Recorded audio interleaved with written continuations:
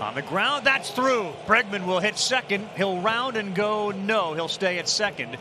A seeing eye single for Kyle Tucker. And the Astros with one out have first and second. Decided